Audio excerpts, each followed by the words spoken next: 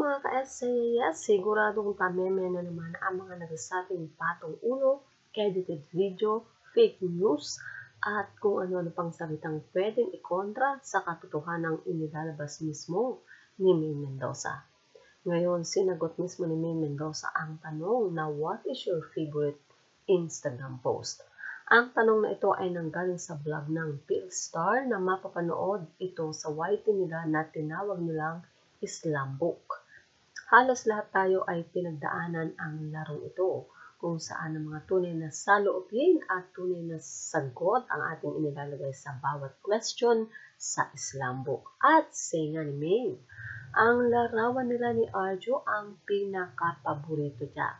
Nang tanungin nga kung what is your most favorite Instagram post?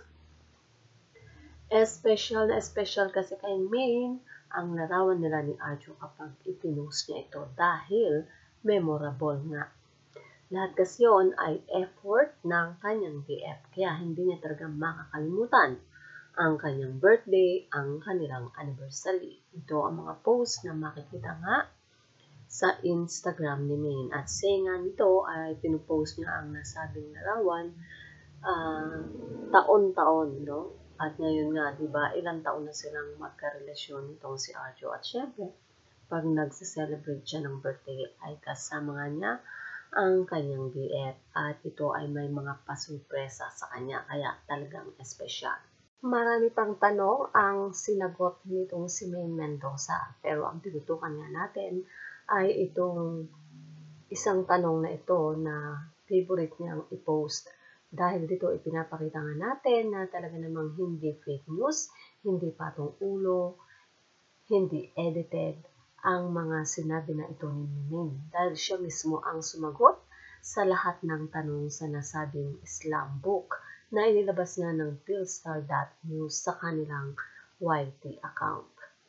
Samantala, patuloy pa rin ang paglabas ng mga larawan ni Maine at Arjo nang sila ay mag-celebrate ng mga espesyal na okasyon sa lugar ng Boracay. Dito nga ay ipinakita natin sa, na, sa nakaraang video na sinelebrate nila ang birthday ng mama ni May Mendoza at sinelebrate din nila ang 7th anniversary ni May sa kanyang uh, showbiz career at syempre ang pagkapanalo ng BF ni Mene si Arjo bilang congressman ng District 1. Kaya double, triple celebration ang nasabing uh, pagpunta nila sa Boracay. Well, mga ka-SCAS, yan nga po ang ating balitaan. At yan, nakita natin ano kung gaano kasweet din ang Armin sa kanilang pagbakasyon sa nasabing lugar. Well, kung yun nagustuhan ng ating balitaan, put your comment down below. At syempre, huwag kakalimutan mag-like, share, and subscribe.